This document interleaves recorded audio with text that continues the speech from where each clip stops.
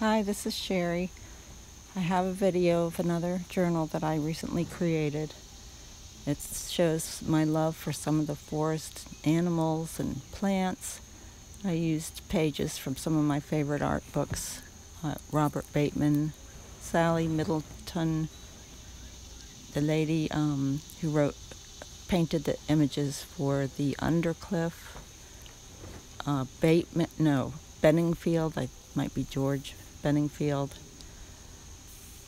And this was truly a labor of love and brought me so much joy in my heart to create.